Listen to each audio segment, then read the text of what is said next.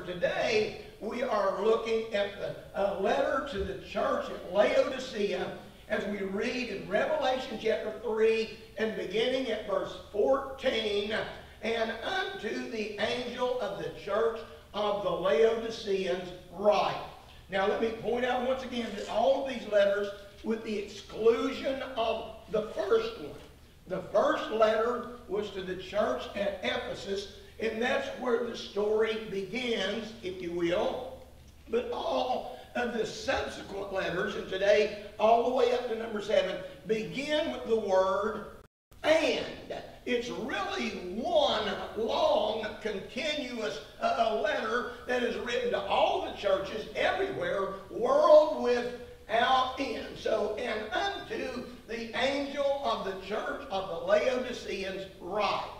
These things saith the Amen. Now that's a capital A as it addresses a person. It's a personal pronoun. It's speaking about the Lord Jesus. These things saith the Amen, the faithful and true witness, the beginning of the creation of God. I know thy works, that thou art neither cold nor hot. I would thou wert cold or hot. So then, because thou art lukewarm and neither cold nor hot, I will spew thee out of my mouth. Because thou sayest, I am rich and increase with good, and uh, have need of nothing.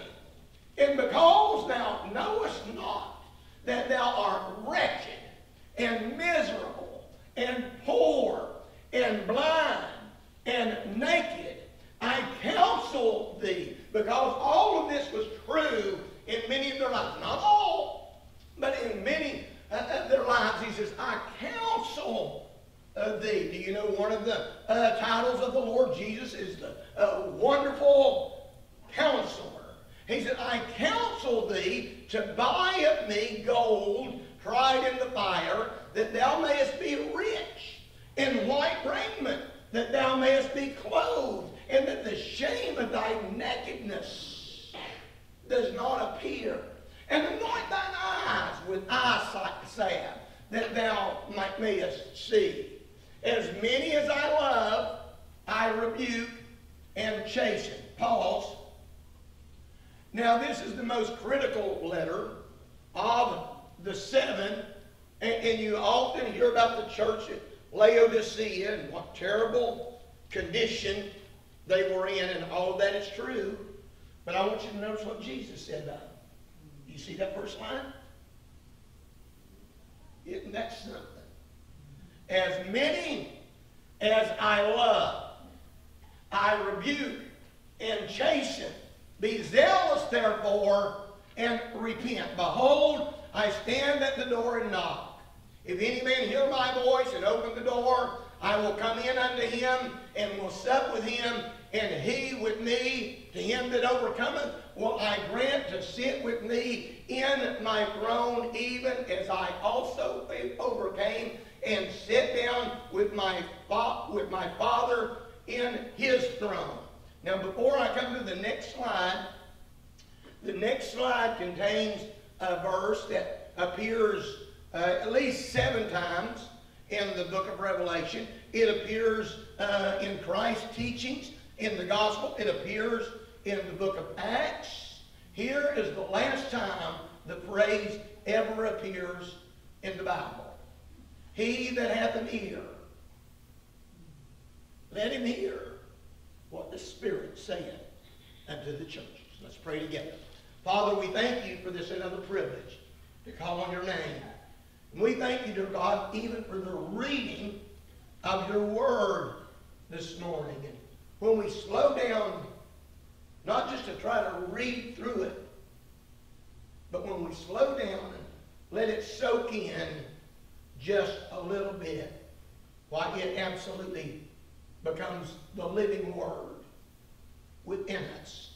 We pray that you'd help us this morning as we study. And for all that's accomplished, we'll praise you in Jesus' name. And all of God's children said, Amen and amen. Now, on your worksheets this morning, uh, you will find, uh, I think there's four red lines pretty early on. It's going to take me five or maybe seven minutes to get there. The introduction to this lesson is a little bit lengthy because it is the last uh, of the seven letters. And today uh, we're looking at the seventh letter or the, uh, to the churches of Revelation. Along the way, we saw the church at Ephesus, the church at Smyrna, the church at Pergamos, the church at Thyatira, the church at Sardis, the church at Philadelphia, and today we'll be looking at the church at Laodicea. Now, one of the things that has really struck me this week as I have studied this particular letter, and I'll say again, I've been doing this for 30 years now, and this is the first time that I have ever taught through the book of Revelation, and would not be doing so now if I did not feel definitely persuaded of the Lord uh, to do so. But one of the things that has really uh, uh, came out to me in this study of these letters is how they run the emotional or the spiritual gamut, if you will. We saw the largest of the churches with the greatest potential squander that opportunity.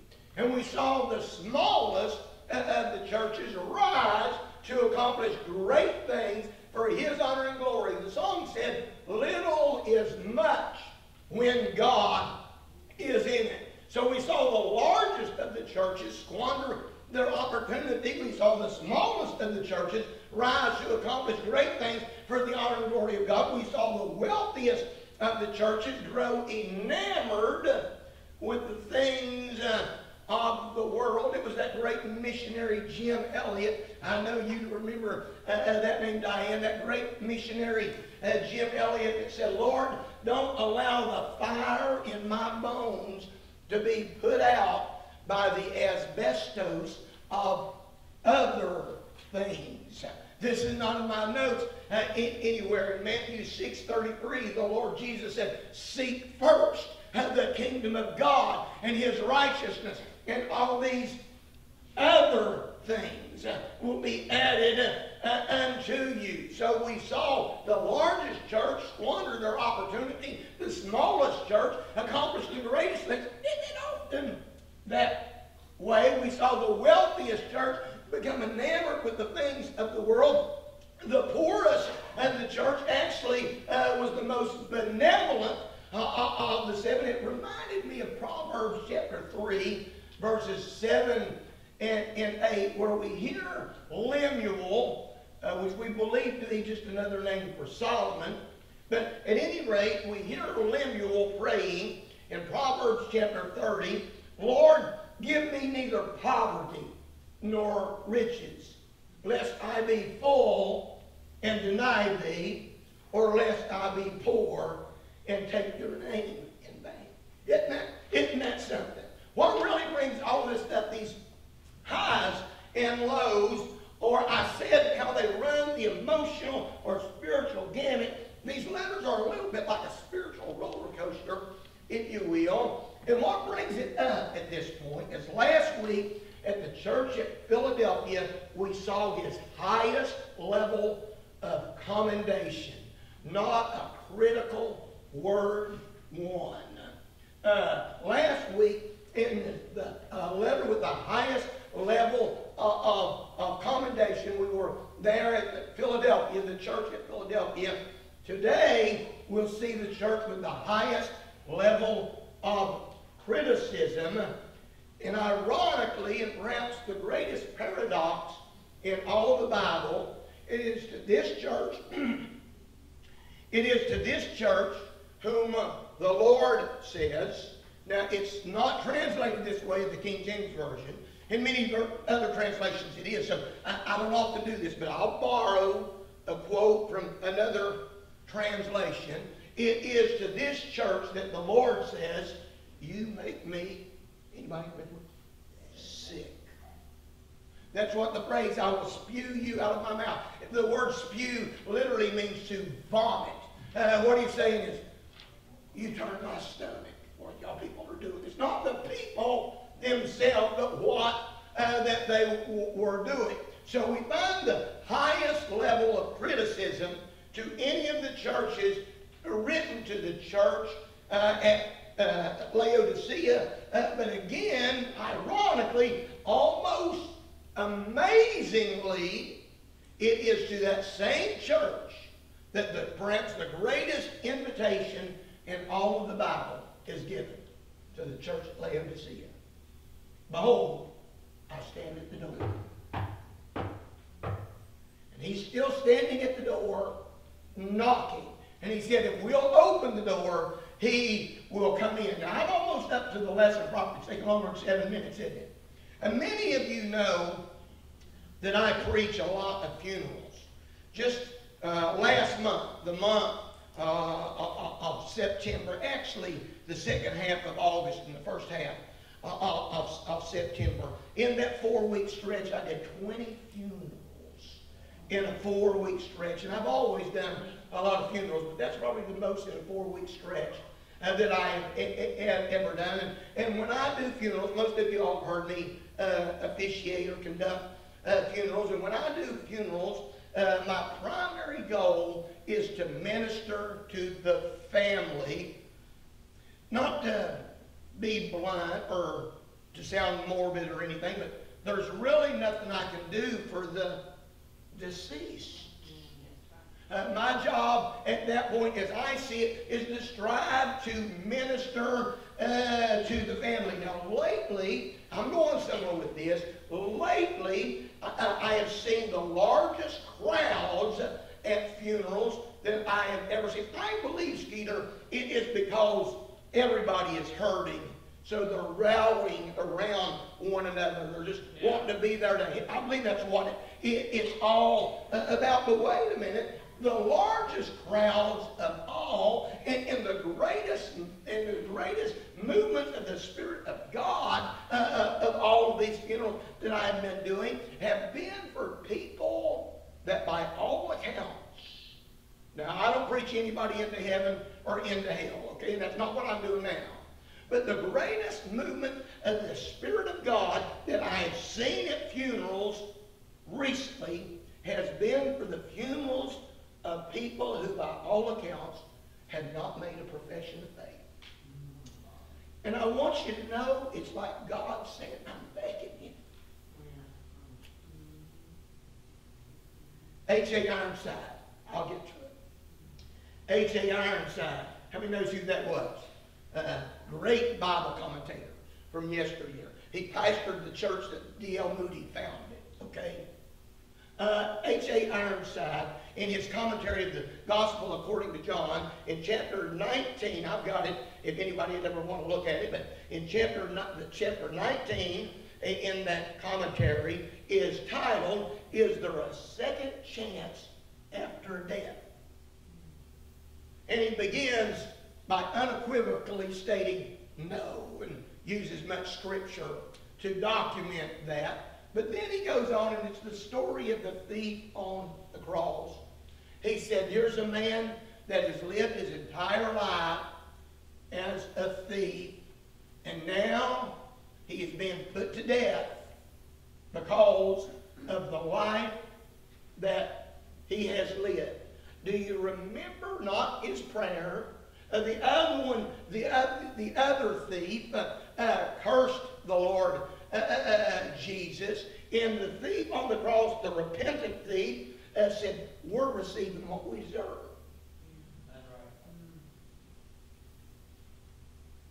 That shows something about him right there, doesn't it?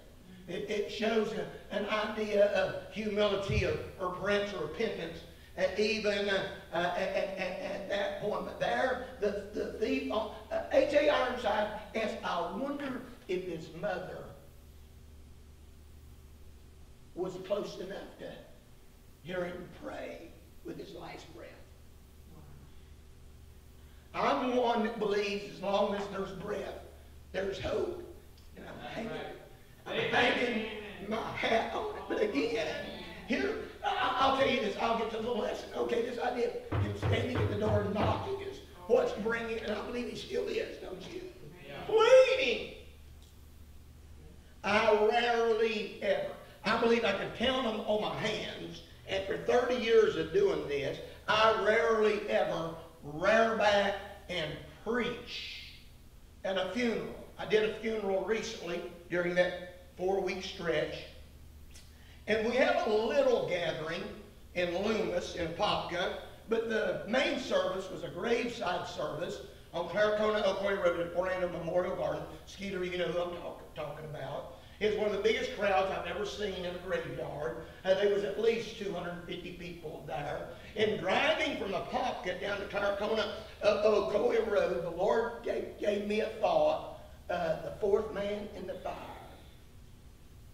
And I stood there and preached in the graveyard, and the Spirit of God just filled that place. I said, I stood there. That's not entirely accurate. I was on my knees beside a grave.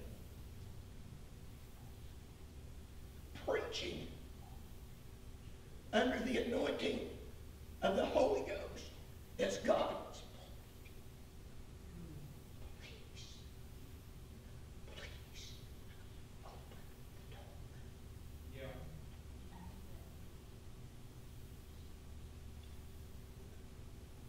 Yeah. in the letter to the church. If we don't get nothing else, that's pretty good, ain't it? In the letter to the church at Laodicea, we will see the dynamic Christ. That's sort of what we've been illustrating already, the dynamic Christ.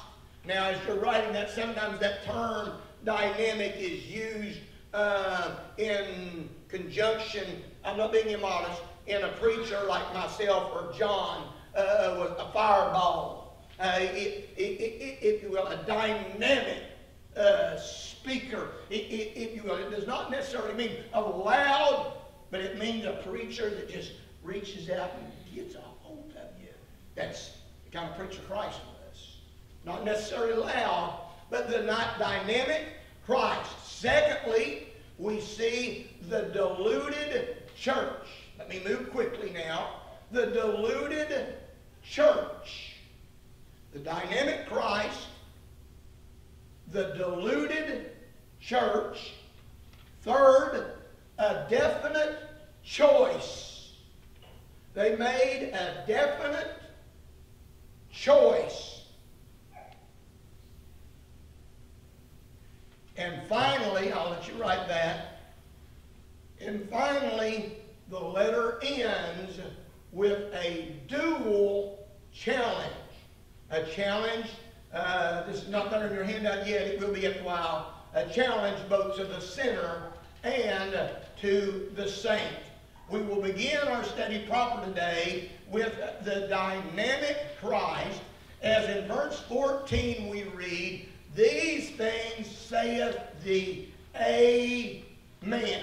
I want you to notice in verse 14 that he introduces himself first as the Amen. It is the only time, the best I can tell, in the Bible uh, that this word is used as a name, as a personal pronoun. And he introduces him first as the Amen. It means he is the one who has had the one that uh, has even now and will always have the final say. Yes. It began with him.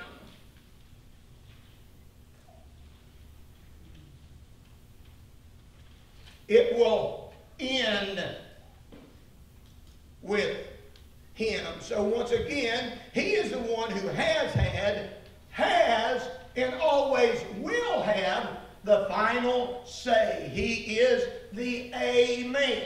Secondly, he introduces himself as the faithful and true witness. Again, it means similarly the same thing. He is the one who is, uh, always has been, and always will be. That is all covered. If it was in parentheses, it's not. Uh, but if it was, that is all covered in the idea of faithful and true.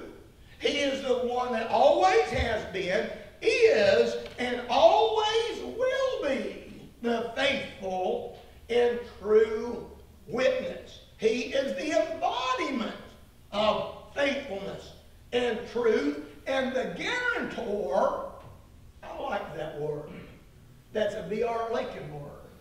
The guarantor of all the promises of God.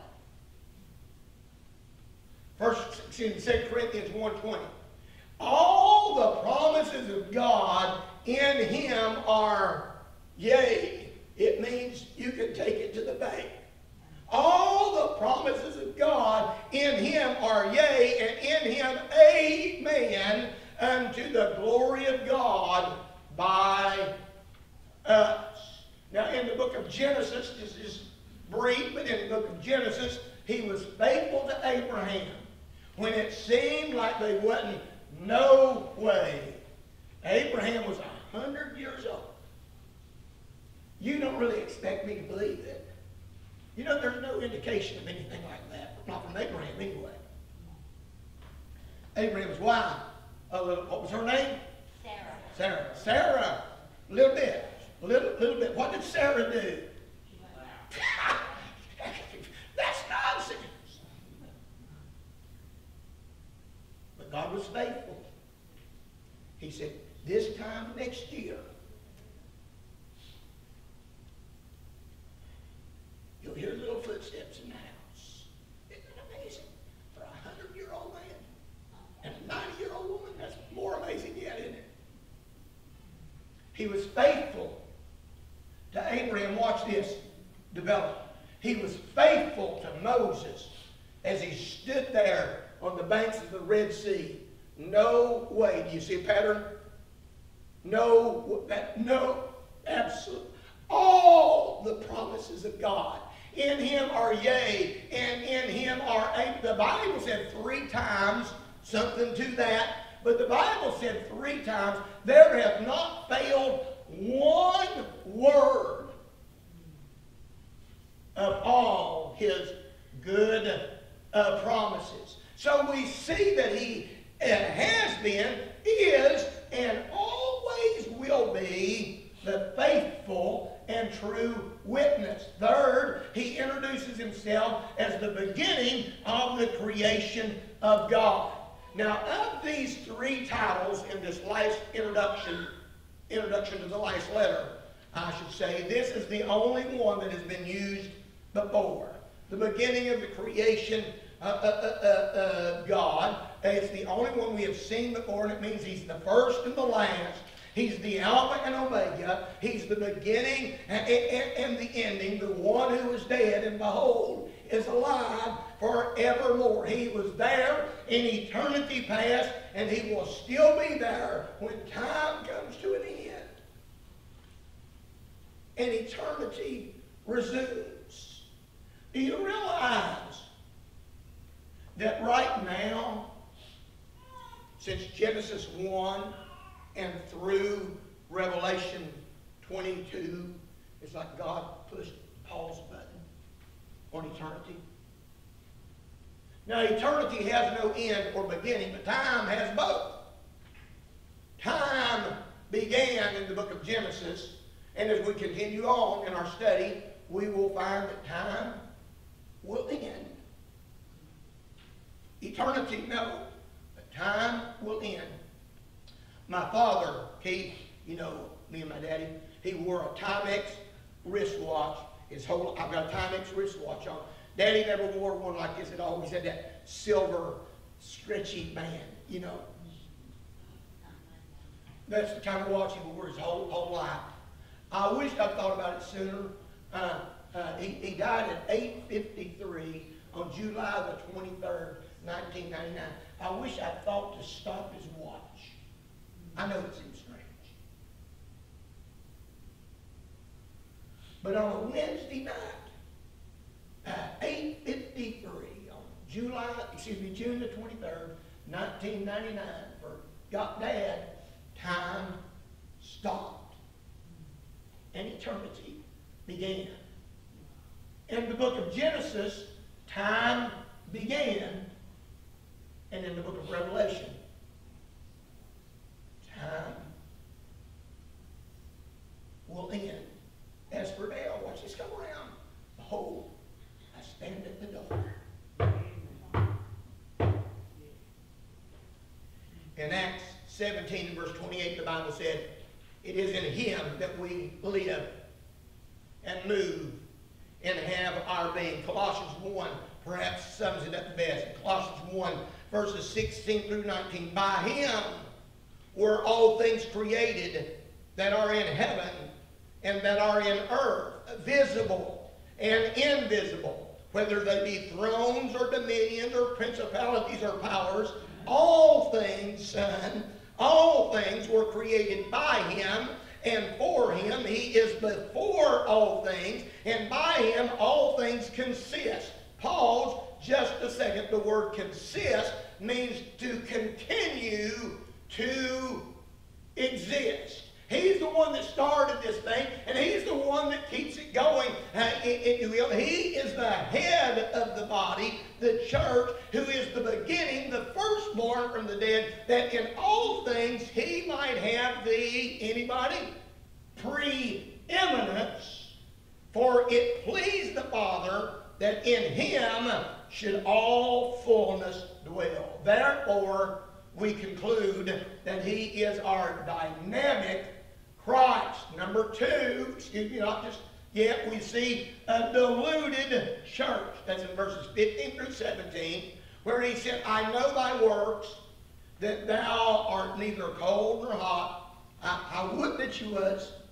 I would that you uh, were either cold or, or hot, but because that you're lukewarm, you make me sick. That's something, isn't it? Yeah. Because I'll tell you once again, anytime you see that word in the Bible, you need to stop because God is being very precise with the word because you know what made him sick? He says here, because you say, I'm rich and I don't need nothing. That's what made him You don't even know that you're wretched. We studied about this, not in this book, but in the book of Romans. Wednesday, Wednesday night. William MacDonald, my favorite Bible commentator, says this speaks of their sickening compromise. Notice the idea sickening makes God sick, if you will. The word sickening in the King James uh, Version is the word spew. I've already went over this. The word spew means to vomit. So it's sickening, but what I really want you to see, I want you to take, take off the prefix. Okay? I want you to take off, sorry. Oops. I can't do that, can I? And take, take off the prefix. And what are you left with? Promise. The prefix means to negate or to turn back upon. You've turned back on your promise. Now remember, he's talking to Christian people. Remember those that remember? You've turned back on your promise. I'll not tell you the story for time's sake. But God spoke to my heart and said, Remember what you promised me. I tell folks, I tell folks, we may forget about those promises. Be sure, God does not. MacDonald pointed out their sickening compromise. Secondly, their sickening complacency. This is worse yet. Not only had they gone back on their promises to God, but they were okay with it.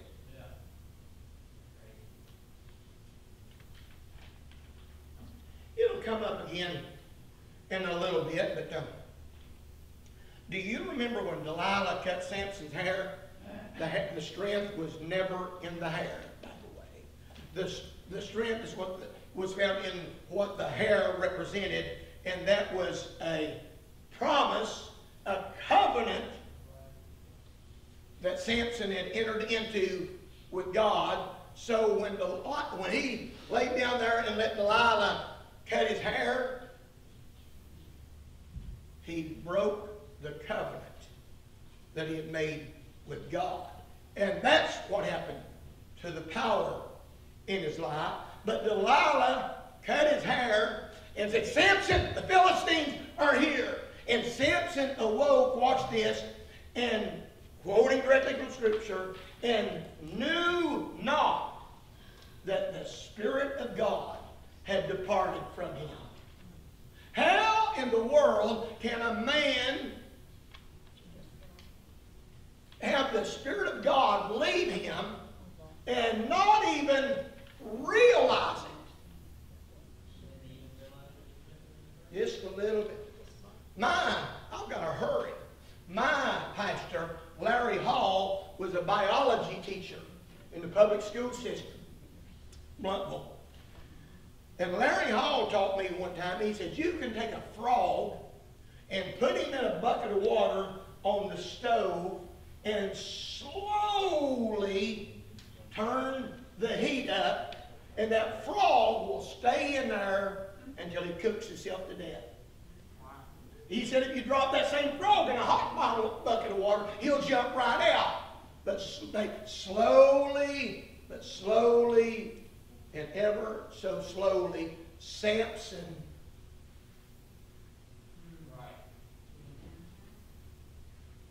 And so did the Laodiceans, by the way. So we see, we see their sickening compromise.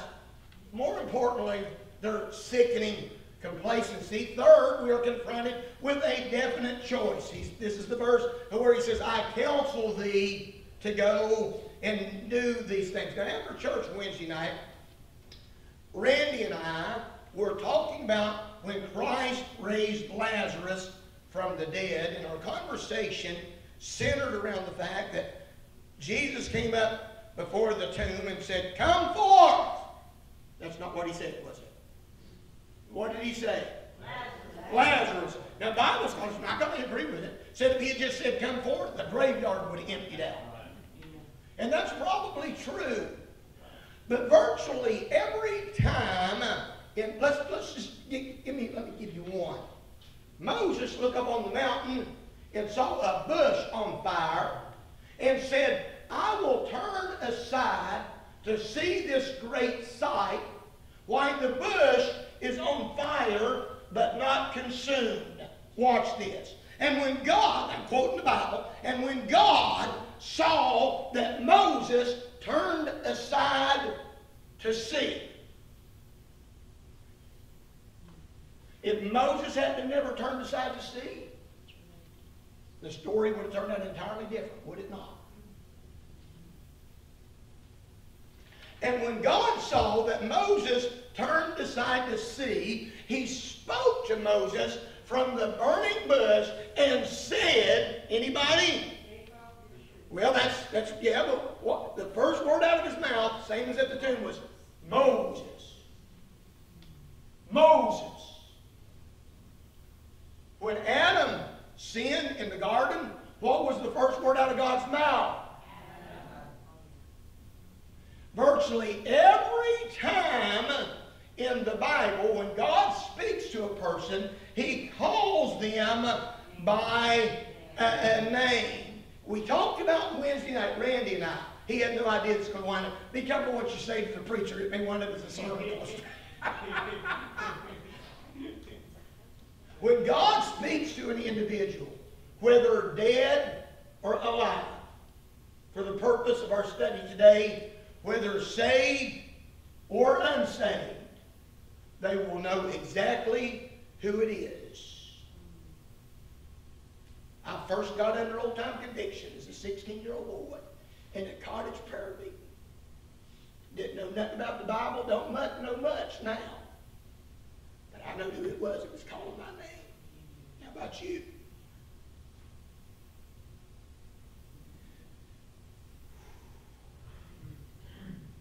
I said, oh, he's acting like a stupid man.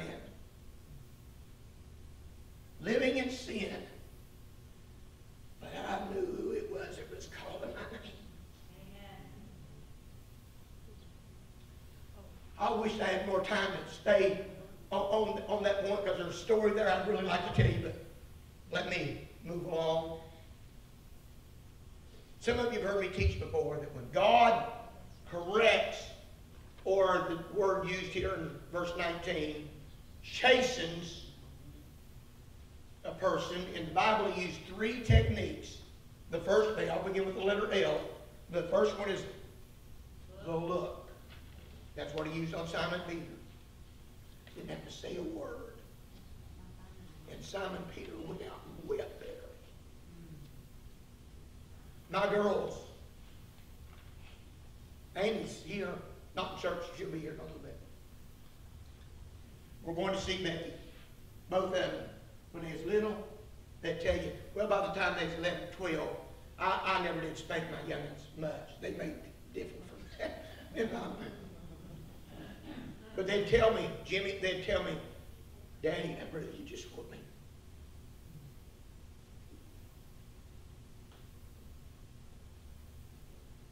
There's the look. Secondly, there's the leading. This is not in your fill in the blank, but you'll write it down, it's okay. There's the look, there's the leading. We find this in the story of Isaiah when I heard a voice behind me. Me and Hector were talking yesterday afternoon about when the believer sins, you don't have to ask anybody whether that was sin or not, do you?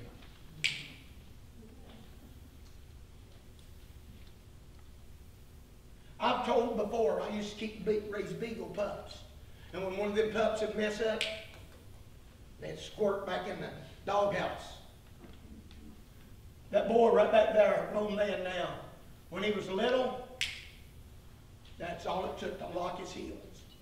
Not because I was mean. No, because I was his father.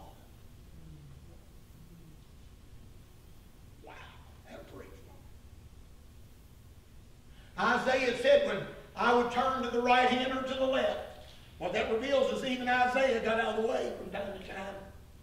We all sinned and got short of the glory of God. Isaiah said when I, I'd turn from the right hand to the left or to the left, I'd hear, no, he said, I'd hear a voice behind me saying, I paraphrase.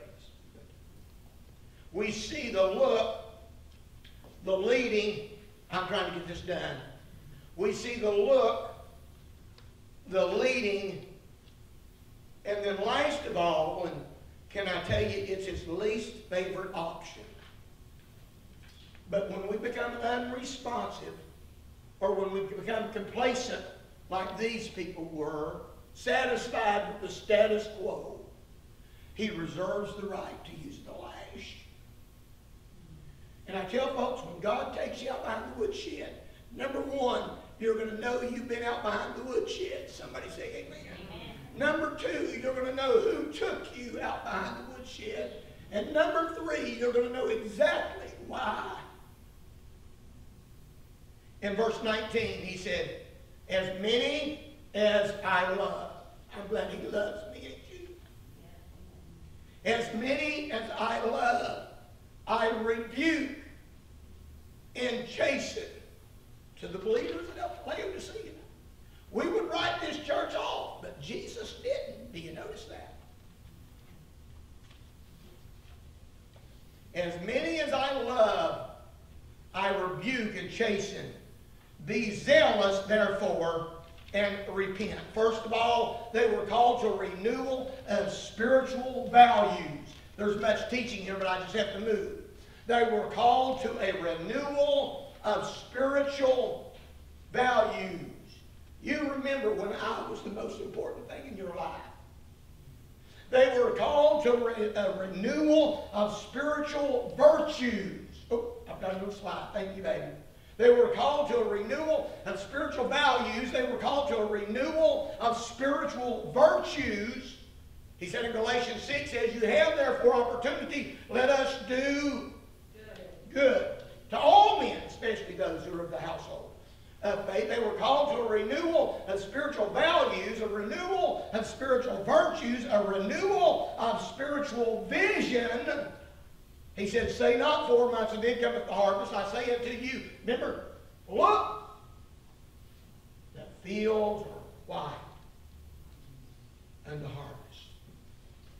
Pray ye therefore that the Lord will send laborers For the harvest is plenteous, but the laborers. We're talking about the days leading up to the rapture of the church. Fourthly, they were called a renewal of spiritual vitality. Peter said that we're to give all diligence. So in his final letter, I'm going to get done. I didn't know if I would or not, but I'm going to get done. In this final letter, which, by the way, is right before, in Scripture, the rapture of the church. But in this final letter, we see our dynamic Christ.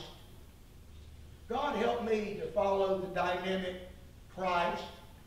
And he said, I've given you an example that you should do as I have done. Help me to be a dynamic Christian. In this final letter, we see our dynamic Christ. In stark contrast, we see a deluded church, a definite choice, and lastly, a dual challenge.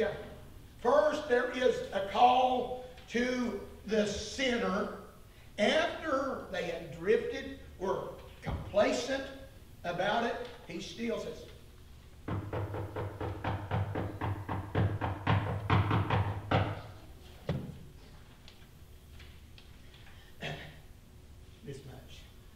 Out on visitation. Out on visitation. One, one night, me and Don Pickle were going up the sidewalk, and as we were walking up the sidewalk, somebody peeked through the Venetian blinds that way. I tell folks it's usually not a good sign. the door opened, it's on a little chain, some of you heard me tell the story. The door opened, a little chain caught it, two little faces stuck through, stuck, stuck through the, chain, through the uh, crack of the door. And we told them who we was, where we was from. Uh, the taller boy in the back said, Mama's sick. The little one in front said, Oh, she ain't.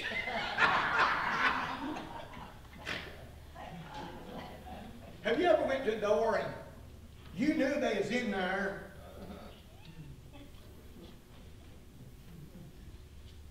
This is the way I normally illustrate. It's probably, bet this mic of all faded. Uh, it's probably better illustrated. He knew they was in there.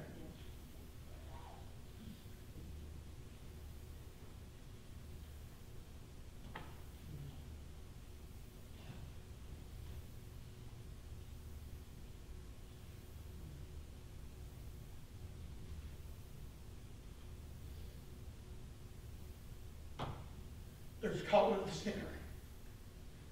Last, the final word in the letters to the, church, to the seven churches was the call to the saints. He that hath ear, let him hear what the Spirit saith unto the churches. Pray. Father, we thank you what our ears have heard and our hearts have experienced throughout this study of the letters to the seven churches of Revelation. As we begin now the next great section of the book, as you have led us thus far, we pray that you would continue to lead, guide, and direct. Give us the humility, the grace, the meekness to follow you. We pray in Jesus' name. And all of God's children said, Amen.